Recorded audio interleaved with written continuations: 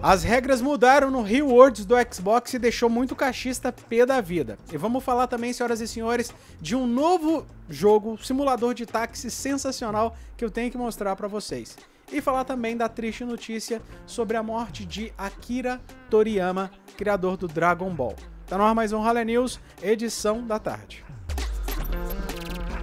Fala comigo, ralezeiros, aqui é o Léo, bem-vindos a mais um vídeo no canal. Se você puder, deixa o like, se inscreve e ativa o sininho, tá bom? Galera, é o seguinte, ó, bora começar falando aí sobre um jogo bem interessante. Estava eu zapeando, né, pela internet ontem e resolvi dar uma olhada no que, que a galera tava streamando e de repente eu vi o Taxi Life, a City Driving Simulator. Pensa num jogo top para quem curte jogo nesse estilo aí. Se liga. Dirigir pela cidade de Barcelona atendendo aos desejos dos clientes que precisam de táxi será uma opção que você vai ter disponível no Xbox. Pois é, galera. Taxi Life, a City Drive Simulator já está disponível, tá? O inusitado desse jogo pode ser que ele tenha procurado recriar nos mínimos detalhes um ambiente para realizar um trabalho tão peculiar como ser motorista de táxi. A gente dirige caminhões, tratores e gerenciamos empresas de todos os tipos em diversos simuladores. Mas o Taxi Life é diferenciado, tá? Ele pretende ser um jogo que pode proporcionar muitas horas de entretenimento.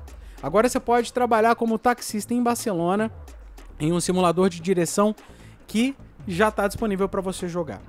Embora originalmente parecesse um jogo que poderia ser considerado uma brincadeira, finalmente foi um daqueles jogos que, por diversas circunstâncias, se tornou uma tendência.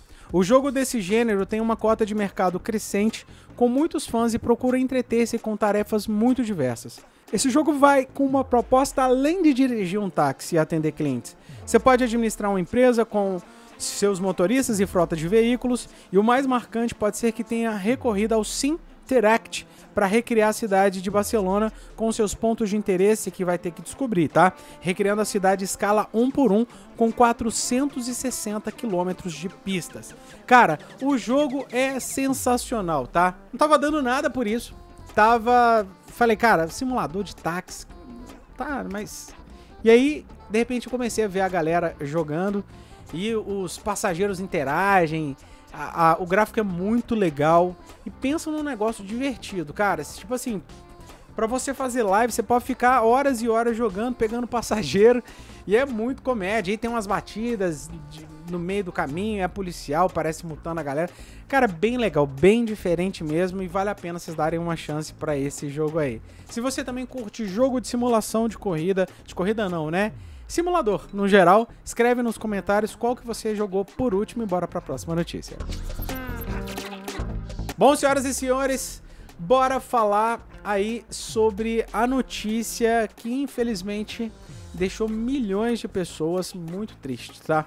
A gente vai falar sobre a morte de Akira Toriyama, criador aí do Dragon Ball, o pai do Dragon Ball. E pensa num negócio que gerou muita comoção. É...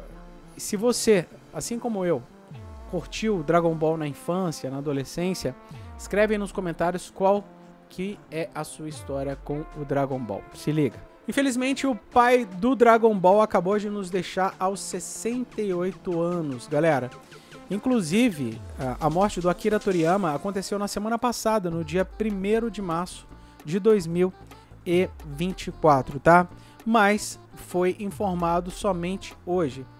É, e a gente acordou com essa triste notícia aí, né? O cara que é uma das notícias mais tristes do mundo do mangá e dos animes, né? É, pois é, galera. A empresa Capsule Corporation Tokyo, responsável pela gestão das obras do mangaka, confirmou que é, o pai do Dragon Ball, infelizmente, nos deixou. Ele acabou falecendo aí de um hematoma subdural agudo, tá, galera? Mas a notícia só foi divulgada hoje. Inclusive, até o funeral já aconteceu, reunia apenas os familiares.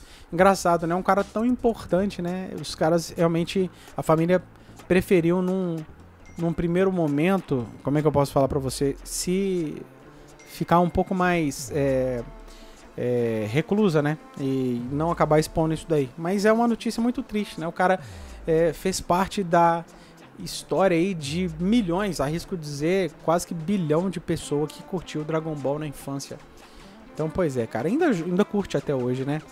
É, como eu falei pra vocês, se você tem alguma história com o Dragon Ball, escreve aqui nos comentários e bora pra próxima notícia.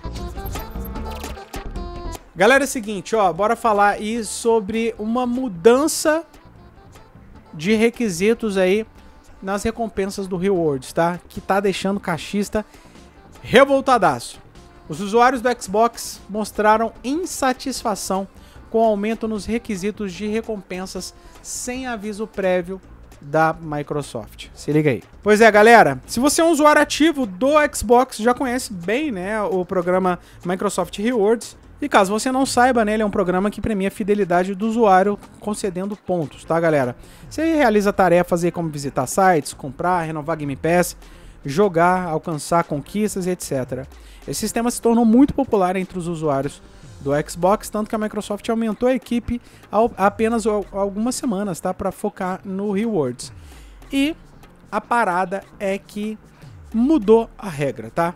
Basicamente, os prêmios pelos quais você pode resgatar seus pontos agora pedem mais pontos do que antes, tá? Por exemplo, em alguns casos, o aumento chega a 30%, tá? E num primeiro momento está afetando apenas alguns territórios, né? É, Para quem está na dúvida quais territórios são, Canadá, Noruega, Austrália, Suécia e França. No primeiro momento, tá, galera?